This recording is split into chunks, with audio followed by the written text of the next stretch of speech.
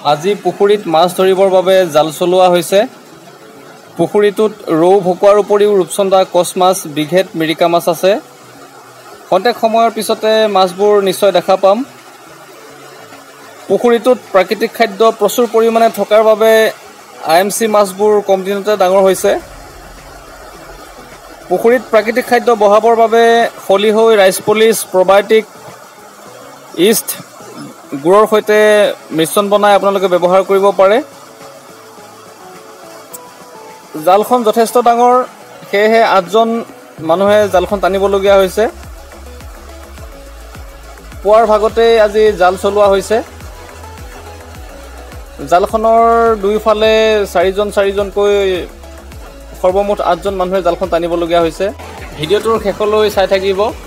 মাছসমূহ নিশ্চয় দেখা পোৱা যাব। Thank you.